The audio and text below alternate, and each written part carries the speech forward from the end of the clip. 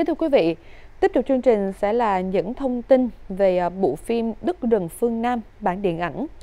Sau nhiều bật mí thì mới đây, phim điện ảnh Đất rừng phương Nam đã giới thiệu trailer chính thức. Trailer này cũng hé lộ hình ảnh tuyệt đẹp và những cái cảnh quay rất là hoành tráng, chuẩn bị cho sự khởi đầu của cuộc phiêu lưu đi tìm cha của cậu bé An, một cậu bé thành thị vào đầu thế kỷ 20 trong thời buổi loạn lạc. Và để rồi từ đó mở ra một câu chuyện huyền thoại về vùng đất Nam Bộ hào sản và đầy nghĩa tình.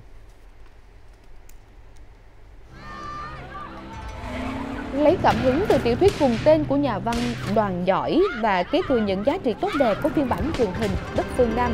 Cách đây 25 năm, phim điện ảnh cùng tên đã mang đến một chuyến phiêu lưu đầy thú vị, ấm áp tình người của mảnh đất phương Nam Trailer mở đầu bằng phân cảnh mấu chốt của cốt truyện Đất Phương Nam. khi An và mẹ lạc nhau trong cảnh chạy giặc. Bên cạnh đó, các nhân vật do Trấn Thành, Băng Di và Mai Tài Phím cũng đã chính thức được lộ diện, hoàn chỉnh hệ thống nhân vật của Đất rừng phương Nam bản điện ảnh. Ngoài giới thiệu tuyến nhân vật, những câu chuyện trong chuyến phiêu lưu tìm cha của An, trailer mới còn gây ấn tượng của cộng với công chúng bởi những thước phim tuyệt đẹp và hoành tráng về đất rừng Nam Bộ.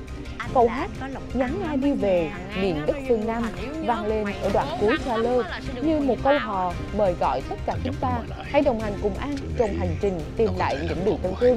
cùng xuôi dòng nước Cửu Long vẫn luôn yêu thương và che chở cho từng con người nơi đây.